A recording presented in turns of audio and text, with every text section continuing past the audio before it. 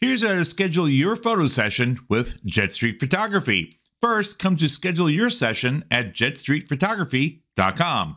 Then you're going to scroll down to number one, choose your appointment.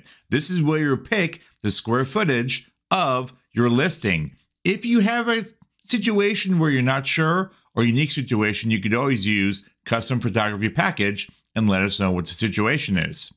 But in this case, we'll use 1,000 to 1,999 square feet. Click that.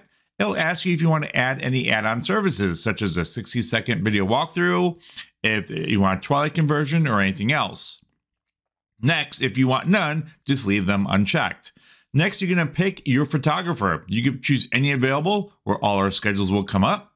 Or if you want a specific photographer, click on this little arrow and you can look at our individual availability and times. And if you're not don't see when that works, you can click the arrow and choose the next photographer and so on.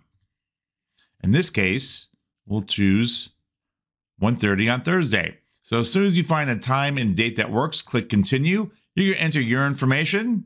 You're going to enter the listing address information, including the address. Will the homeowners be present? It doesn't matter if they are, just so we know ahead of time and any relevant information.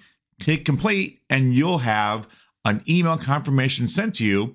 Also, reminders 24 hours prior to the appointment and two hours prior, you'll receive an email and a text message.